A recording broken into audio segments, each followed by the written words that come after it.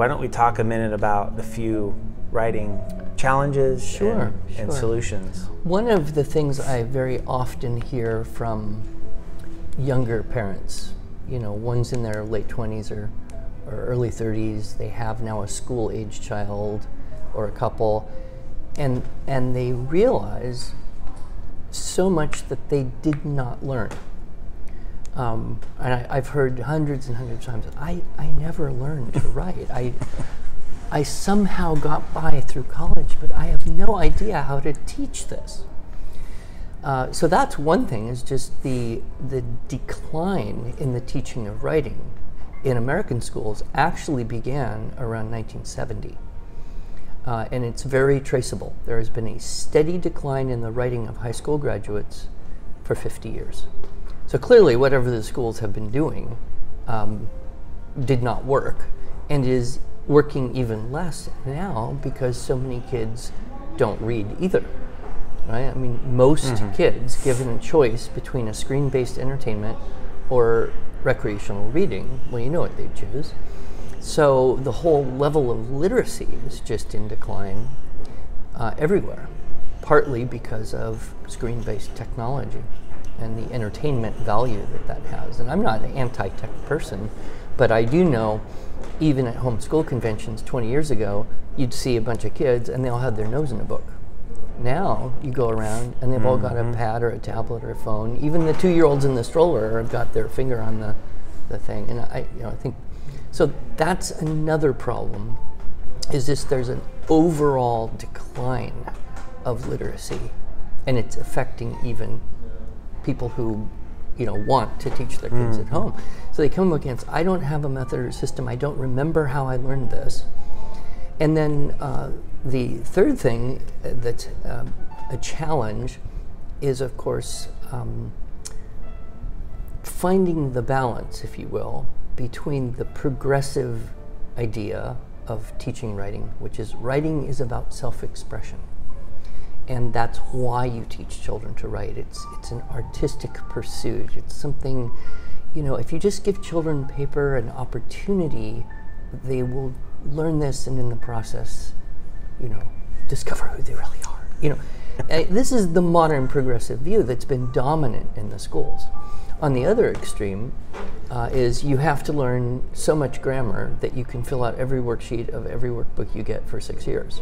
Now, can I ask on the on the progressive view, it, has it come with that the idea of then there's not a correct? I mean, has it gone that far to where, and and however they express themselves must be accepted as? yeah, yes, that is precisely where the edge of progressive thinking is right now. Okay. And it's even more political, in, and there are some people working in the, that world of both education and linguistics who will make the argument that teaching grammar at all is inherently racist.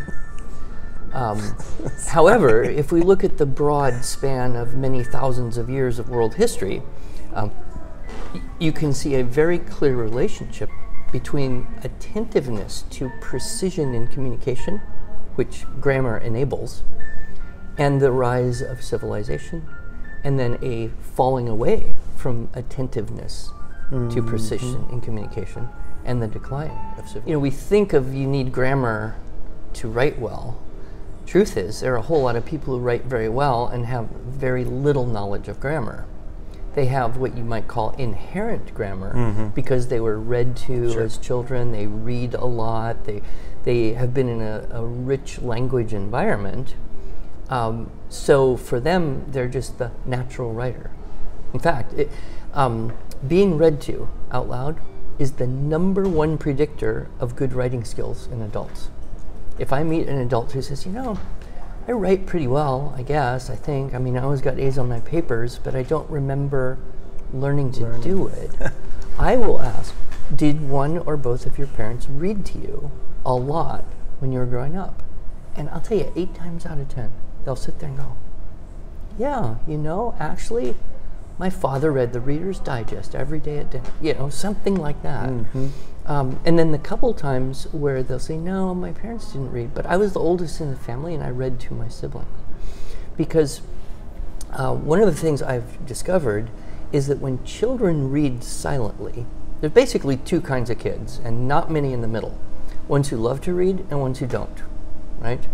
And the ones who love to read, they read all the time, but they, they read books like they watch movies, which means they're reading fast.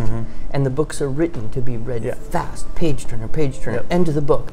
Oh, I got to read the next one in the series, right? And it's all commercially driven, um, which is fine. I mean, it helps them practice their decoding skills or whatnot. Um, but but at a certain point, they start reading faster than they could hear what they're reading. And then they do what you or I would do, which is skip words, skip things, skip thing, skip a word you don't know. You don't need to know it to get the story Right. um, see a whole chunk of a sentence or a paragraph that doesn't look interesting or necessary to the plot. Skip it.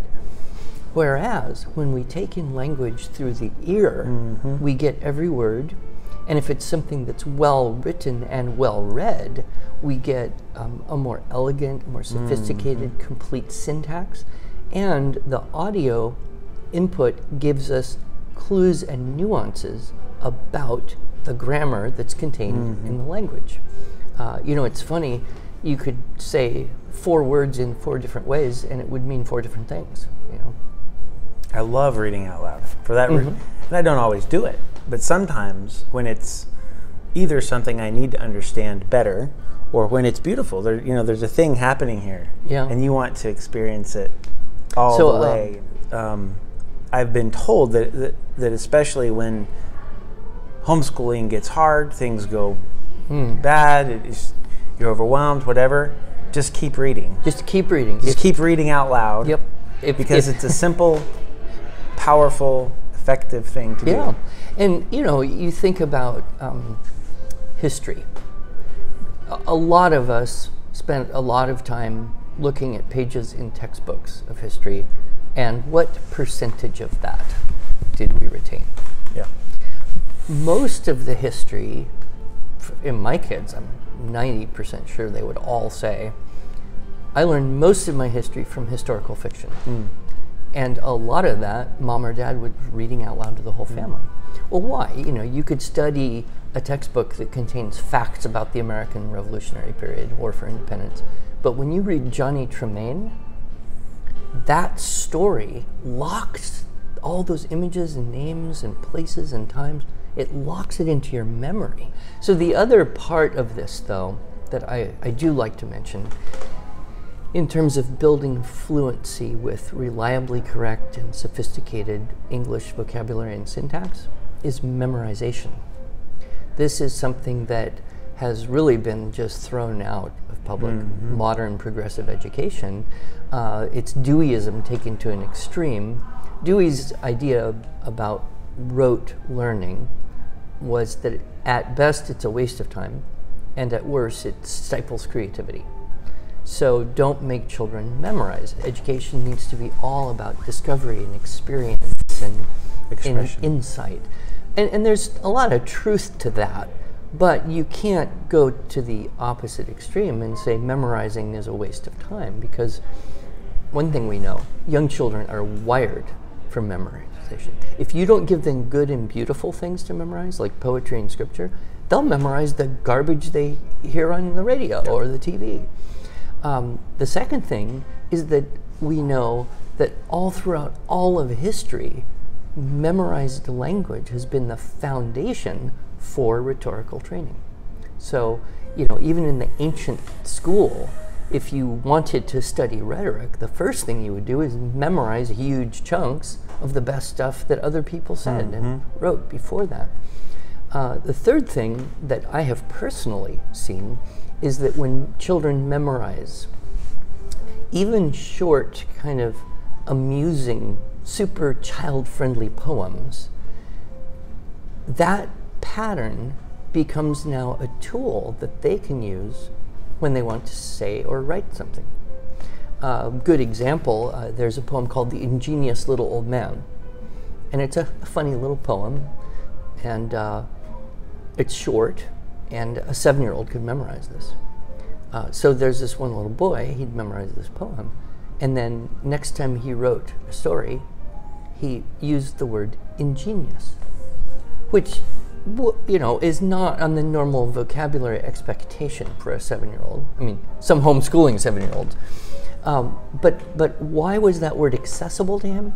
Because he had embedded it in his active memory, his active vocabulary.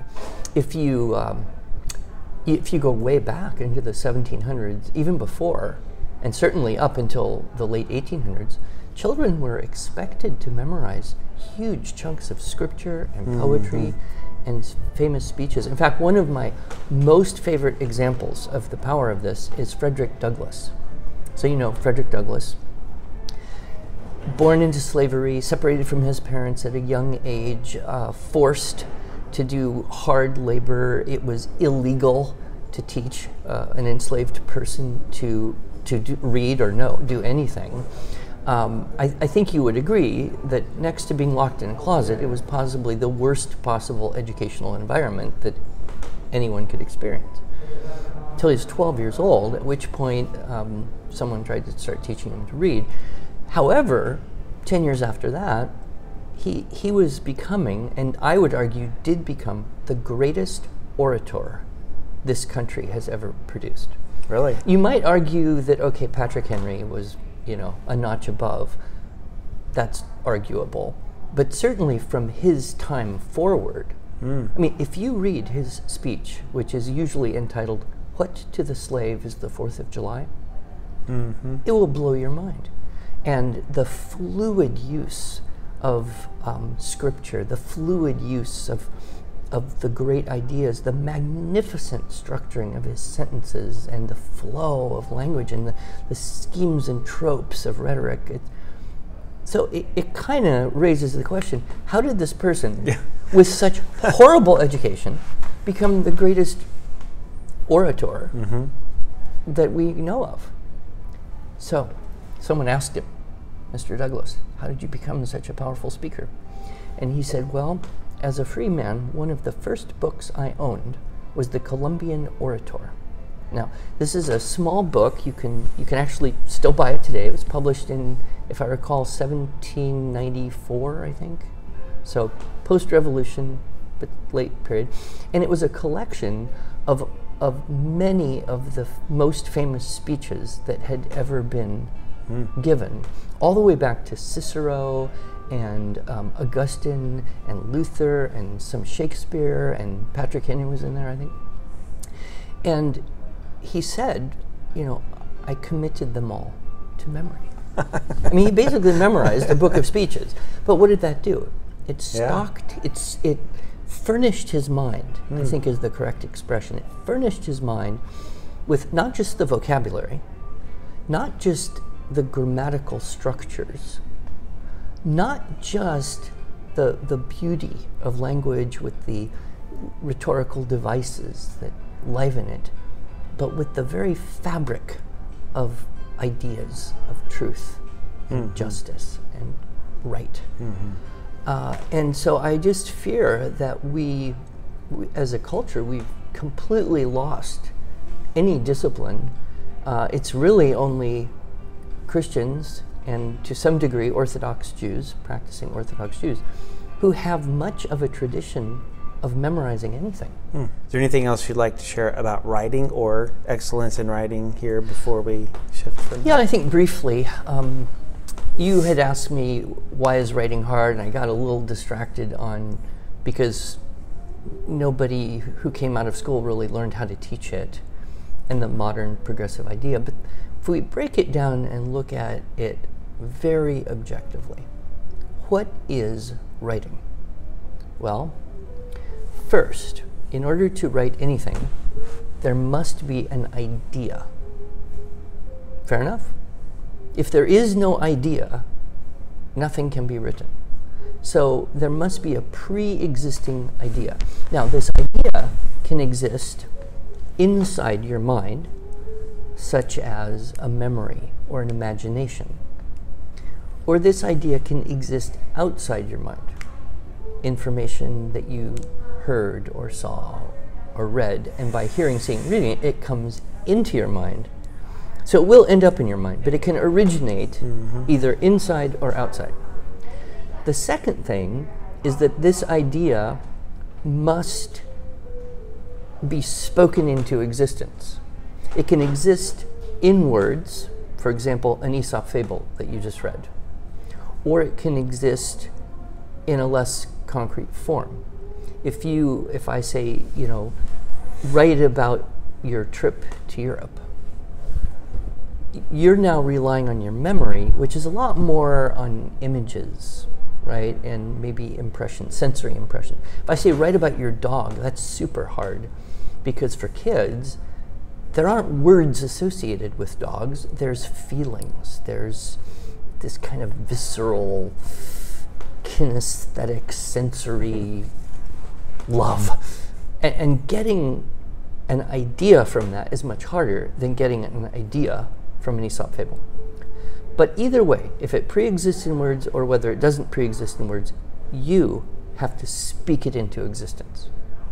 That's how it becomes something that is communicable. If you don't speak it into existence, there's no way that I can transfer the memory or image from my brain directly to yours. Spock, mind meld. No, we don't have it yet. We, we are limited, gifted, but limited by words. So then you speak it into existence. Now, as you speak this idea into existence, you have to hear what you just said to yourself. Have you ever noticed some people can speak and not hear what they said? uh, there's two groups of people who do this politicians and young children. hmm. Anyway, but you have to hear, which means you need the listening skill right? To hear what you said to yourself. This is why children talk to themselves all the time. It's a way in which they start to learn how to hear what they are thinking. Mm-hmm. And they speak ideas. Is that why my wife wants to talk about what she's trying to figure out? Absolutely. Then she knows what she's thinking about. Yeah. Yeah. It just bounces around in there until mm-hmm. ah. it becomes concrete. And may I also ask? I think Mortimer Adler as a teacher said that if someone read something and he said, "Did you understand it?" and they said yes, and he said, "What did it say?" Mm-hmm. and they cannot repeat it, they said, "Then you don't understand, understand it. it." Exactly. Yeah. So, so then you speak this idea into existence. Now, when you're young, you may do that with your voice.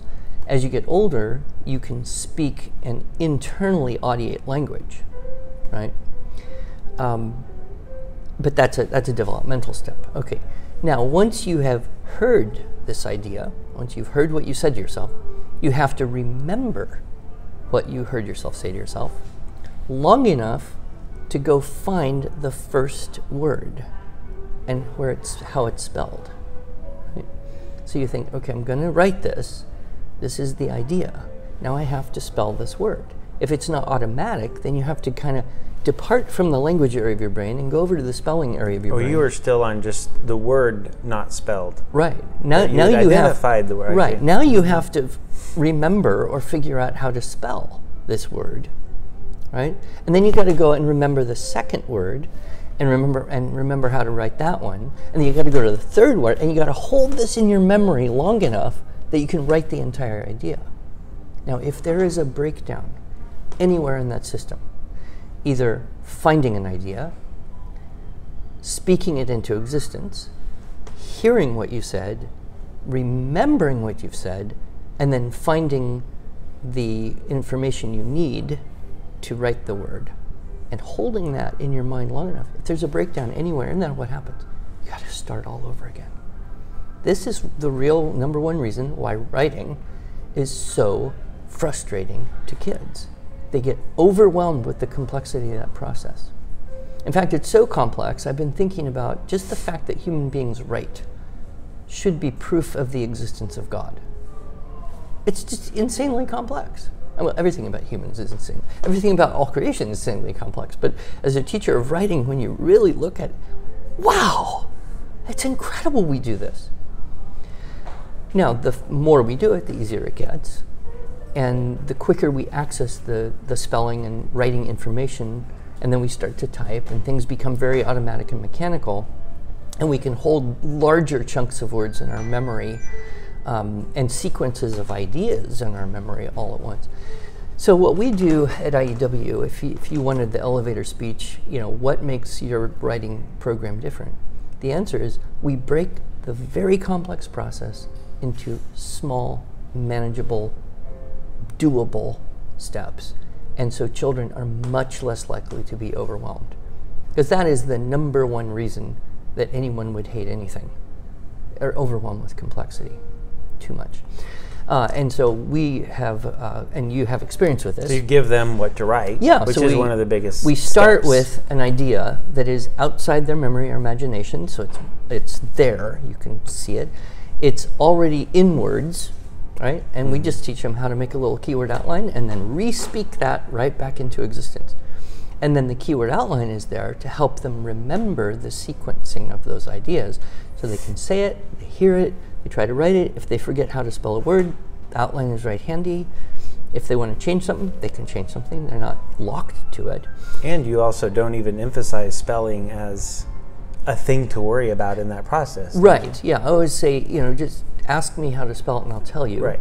And if I'm not available, give it your best guess and we'll fix it up later. Yeah, I'm not, not into this inventive spelling, but right, right. what I am. but am it's not the point of that moment, which is learning to write. Yes. I mean the structure of the sentence. Yeah. And then through our nine units, we start with this kind of dictated content, and it's really I I have I, I won't say never, but I have no memory of meeting a child of any age who could not get going in this process.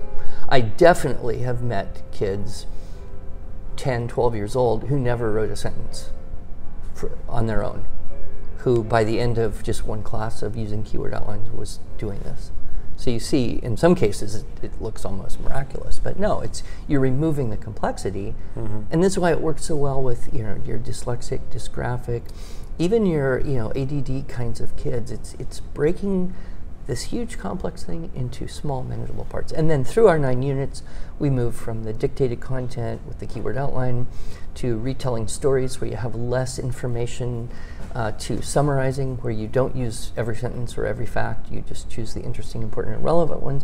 Then wh- when we get to unit five, writing from pictures, now we're in the world of ideas that did not pre-exist in words they're having to describe the events in pictures. So that's a that's a key moment there because they have to be able to look at a picture, ask questions about that picture, hear the answers that they can have to the questions they ask themselves about the picture, and get that into a keyword outline and then write it up. So that's a, a kind of a key point in our process. Unit six is research, which is, uh, of course, a valuable skill for everyone. That's when you have too many sources with too many facts. And how do you sort through all those and create a fused outline? Uh, unit seven is what we call inventive. Some people call creative writing. This is where there's no pictures, there's no story. It's just you, your brain, and whatever you happen to carry around in it. But by then, they've got this habit of being able to ask questions, hear answers, speak those into existence, record them in outline form, and then the writing is so much more. So what would you say for students who have enough in their mind that they're itching to get out, that they're Yeah. really frustrated with the process of Yes. you keep telling me what to say, can I not just write something? Well, yeah, there's two things to say about that. One is um, a lot of times kids are frustrated because they think so much faster than they can write. So they can think of the story and talk it to you and just go on and on and on. And you say, Great, write it down. They're dead in the water because they can't slow down their brain. Um, this is more typical of boys who are really imaginative and they, they, they, they can just go wild with content, but when you say write it down, they can't, they can't slow mm-hmm. that down. So this is training them to break that into pieces. The other thing, you know, a lot of people ask, well, you know, use these models and checklists. It seems kind of formulaic. Doesn't that stifle creativity? And I point out, well, writing is an art like art, uh, drawing, painting. Uh, it's like music. It's like sports. You have to do certain things in a very structured way in order to gain the basic skills to be creative in that sport. So, you know, if we taught music the way we've taught writing in this country for the last 50 years, it would kind of go like this Yeah, come on in, I'll teach you how to play the piano. You know, I'll teach all the names of the notes, and there's these pedals. You can experiment with that. And just kind of what you need to do is just explore the piano. Just go home and fool around for 20, 30 minutes a day for the next five years, and you'll learn to play the piano. Well, I mean, it's, it's true you would learn something, but what do we do? What do we know works better? Play this piece, play it in this way, imitate me precisely, build up a repertoire. And now, after doing that for several years, now let's talk about things like the creative elements interpretation, improvisation, composition. But creativity never exists unless quality creativity does not exist without a foundation of basic skills. And that's true whether you learn to paint or draw buildings or do gymnastics or write stories or poems mm-hmm. or essays. So that that would be my you know, my trying to reach out to that child and say, I know you want to do whatever you want to do, but I also know some things that if you will conform and practice this, it will make you even better. My goal isn't to produce good writing. My goal is to nurture better writers, and I know how to do that.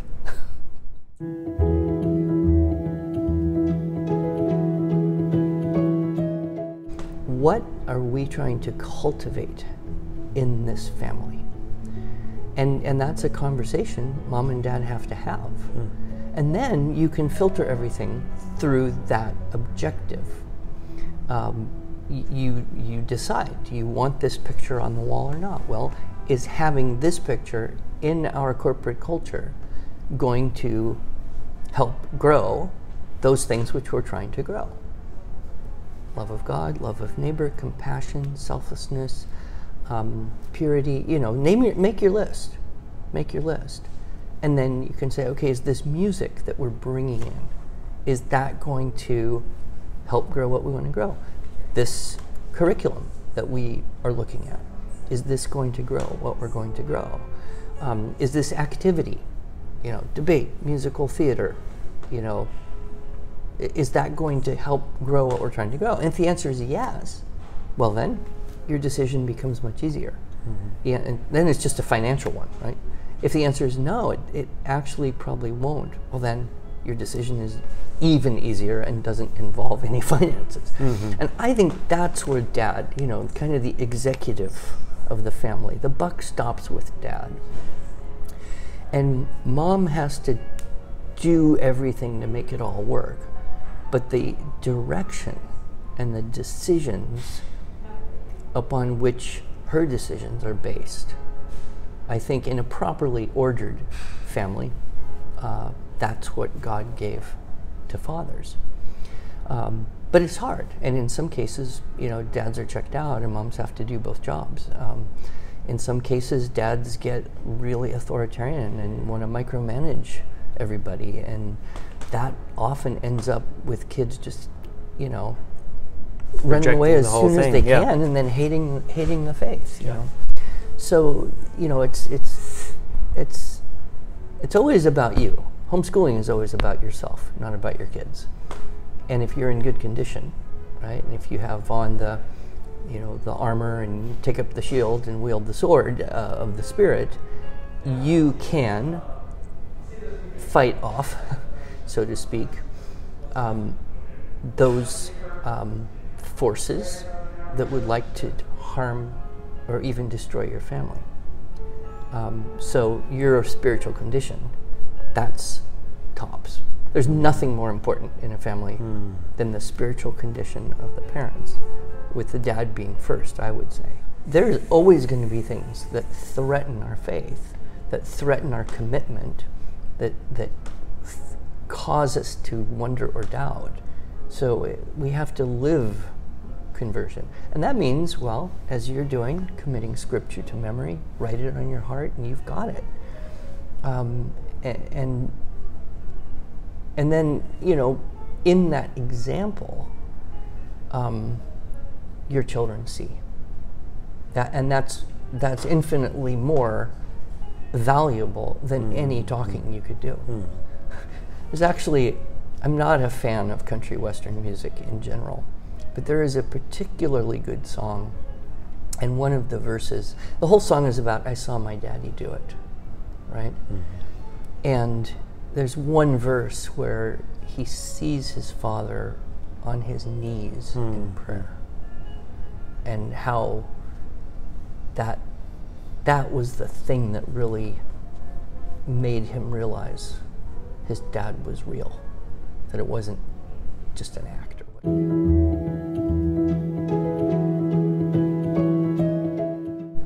One last thought then is this pandemic and its effect on home education, which it clearly is, with many more joining and at the same time taking out our conferences and all, and all of this kind of thing. Uh, have we're not very far into it, but what thoughts have you developed as far as what's happening and where this is going as far as home education and what we can do as leaders Yeah. to respond effectively? well obviously there's more people flooding into home education than anyone would have imagined um, a, a lot of things are coming to light that were not um, parents looking at what their kids are doing on the computer for their distance learning really is the first time they're seeing what the school is. Because they can't walk into a school and just hang out in the classroom and read the books or listen. There, it's it's impossible. So they're actually now. Is this even? Is this curriculum even good? Mm-hmm. Uh, and and so there's a lot of questioning there. Um, people say, well, I guess it's better to homeschool. I'll try it for a year. But what happens? Then community. And I think far more people join homeschooling trying it for a year and stick in for a long time than try for a year and go back. We also have um, mechanisms to support, you know, online classes here and there and video and, you know, CC groups and other co-ops and charters, even hybrid charter schools are, are booming uh, in some states. Um, I mean, they're not legally homeschooling, but basically they're at home learning the curriculum of mom's choice, mom and dad's choice. So, but even on a broader scale, I have noticed just kids on the streets in our neighborhood, families taking walks. Um, there seems to be just the one of the effects of the lockdown period was well now you get to be home with your family like it or not. And i think for many that was a freedom. That was almost a renewal an mm-hmm. opportunity to renew relationships. And i've read so many articles of you know parents saying my kid is totally different. He's not mm-hmm. stressed anymore. He's not you know afraid of the bullies you know. We we re- we sat on the couch and read books and laughed. We haven't done that forever, you know. So I think that even on the outside of the homeschooling, there's been some benefit. There's also been some horrible, you know, horrible things. People just flipping out completely, and there, there's always going to be that. Um, but like anything, um, we lead by example. We say, "This is this is how we homeschool." And if we can help you, let's do that.